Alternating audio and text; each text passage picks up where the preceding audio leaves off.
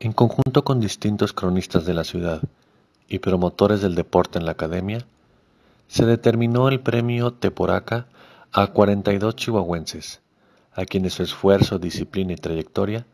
los han hecho merecedores de ser parte de esta edición especial, resultando ganadores